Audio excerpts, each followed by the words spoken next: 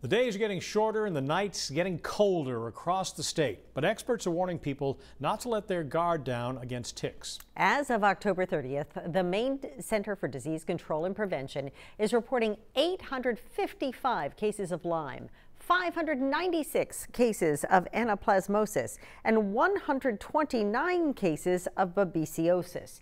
But these numbers could actually be higher because some patients spend months or even years trying to get a correct diagnosis. Part of the problem is that standardized tests can often miss the disease early on when the antibody levels are low.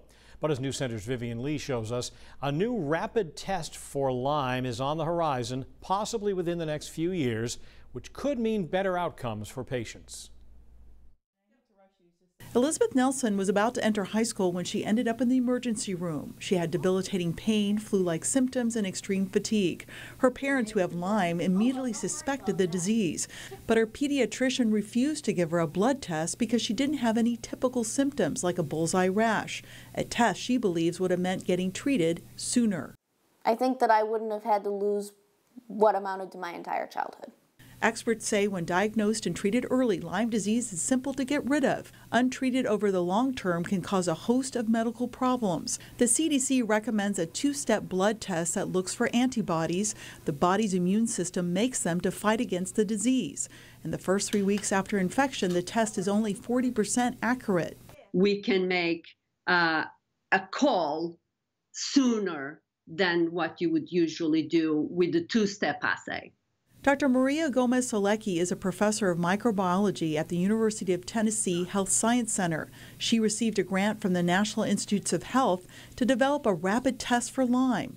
The test would be a single test that uses several biomarkers to detect Lyme in a short amount of time. To develop an assay that is highly sensitive and highly specific. So, something that will detect Lyme disease and Lyme disease only.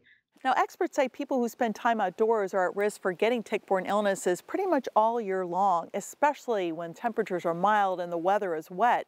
But ticks are showing up in places people may not expect. And I immediately saw legs, and I'm like, oh no, here we go again. Earlier this week, Elizabeth's mom noticed a dark spot on her husband's back just below the shoulder. It was an embedded tick. They think he got the tick while at the gym especially if they're using locker rooms and showers and whatnot, and the clothes are coming off and they're thrown in the locker, you really need to be aware that there's a possibility that ticks are there too.